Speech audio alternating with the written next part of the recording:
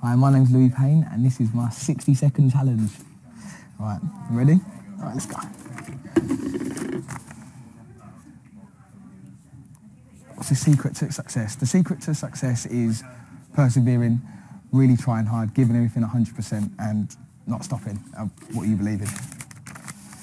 Okay, if you could go anywhere, where would it be? If we could go anywhere in the world, really, it would be India. I really, really wanted to go to India, so yeah, India.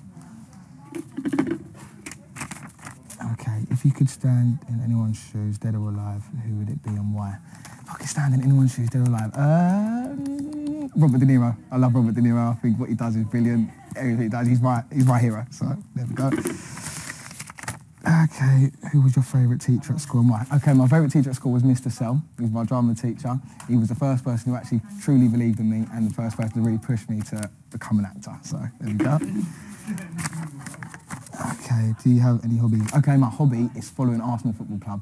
I've got a season ticket there. Uh, I go home and away as much as I can, cover Arsenal. Ah.